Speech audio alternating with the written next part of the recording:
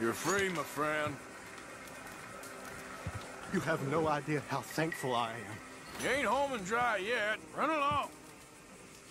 I know. I think they hid my things in one of those boxes. Sir, they are yours.